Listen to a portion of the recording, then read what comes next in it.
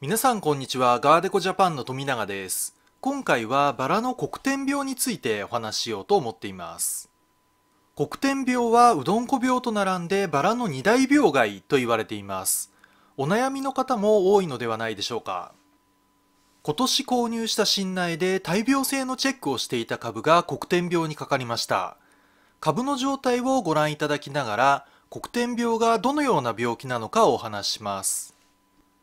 また黒点病の予防方法や被害を軽減させる方法についてもお話ししますので黒点病にお悩みの方はぜひ最後まで動画をご覧ください。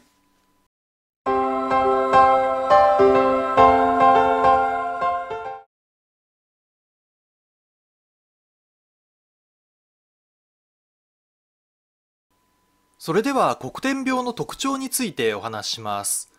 黒点病の原因菌は糸状菌いわゆるカビの仲間です。原因菌が葉に感染し増殖することで葉に黒い斑点ができます。病気が進行すると最終的には葉を落としてしまいます。葉を失うと光合成能力が大幅に低下するためバラの生育に大きな悪影響が出ます。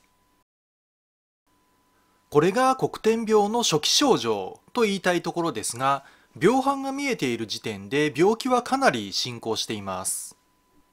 この時点で慌てて薬剤散布をしたとしても黒点病の進行を止めるのは難しいです。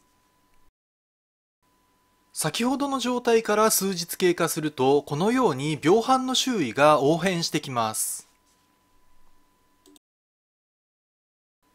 最終的にはこのように全体が応変して葉を落としてしまいます。葉を失ったバラは光合成能力が大幅に低下します。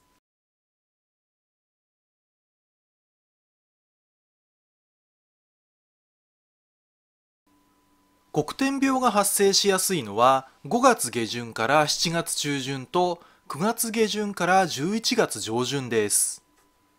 特に春の一番花が終わった後は株の消耗が激しいので病気に対する抵抗力が落ちています。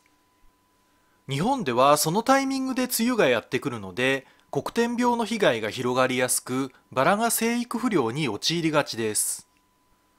次に黒点病にかかりやすい環境について見ていきましょう。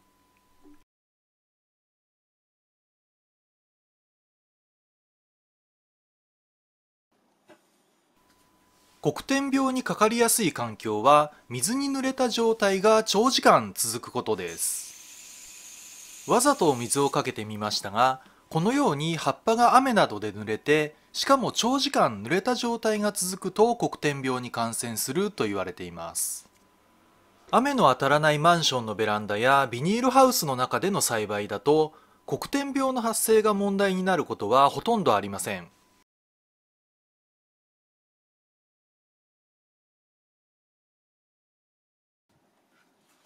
若い葉は黒点病にかかりにくいという特徴があります。実際に水をかけてみましょう。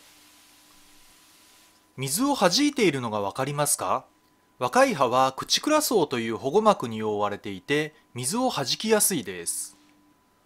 葉が長時間濡れた状態が続くと黒点病に感染するとお話ししましたが若い葉は水を弾くので乾きやすく長時間濡れた状態になりづらいのが黒点病にかかりにくい要因です。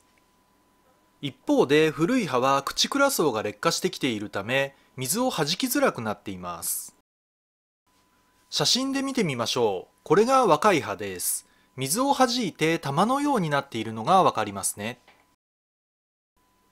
一方でこれが古い葉です。水を弾くことができなくなっているのがわかります。葉が長時間濡れた状態になることで黒点病の原因菌に感染しやすくなります。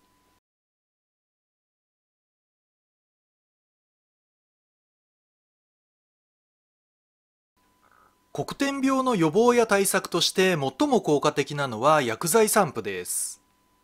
特に庭植えで雨の当たる環境下では定期的な薬剤散布以外に黒点病を防除する方法はありません。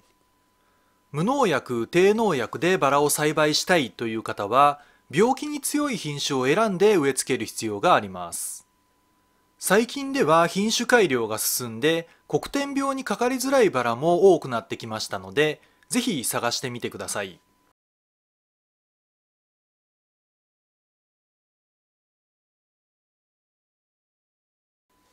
鉢植えのバラであれば無農薬低農薬でも黒点病を予防緩和する方法があります。これは僕が無農薬で管理をしているバラのガブリエルです。6月半ばですがこのようにたくさん葉を残しています。具体的にどのように管理しているのかをお話しします。ガブリエルの管理方法ですが黒点病対策として行っているのは雨に当てないということです。天気予報をこまめにチェックして雨が降りそうな時は早めに雨の当たらない軒下に避難させています。そして晴れた日にはなるべく日当たり風通しの良い場所に移動させます。このようにこまめに鉢を移動させることで葉が長時間濡れた状態になるのを避けて黒点病にかかるのを防いでいます。葉に全く異常がないわけではありませんが今のところは9大点かなと思っています。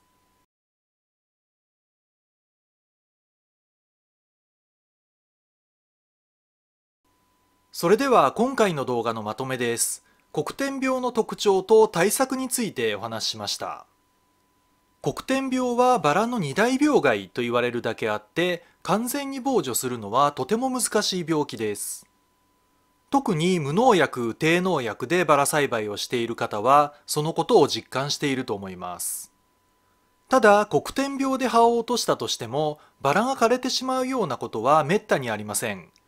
完全に防ぐというよりは少しでも被害を軽くするというスタンスで黒点病と向き合った方がいいと思います。